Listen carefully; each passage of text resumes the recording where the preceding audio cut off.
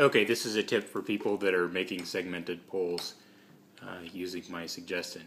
Anyway, sometimes you end up with uh, a brass tube uh, that's a little bit too small and a dowel that's maybe a little bit bigger. So what you do is hold the two at an angle and just rub back and forth and then screw back and forth and push and you'll end up with a nice uh, tight fit.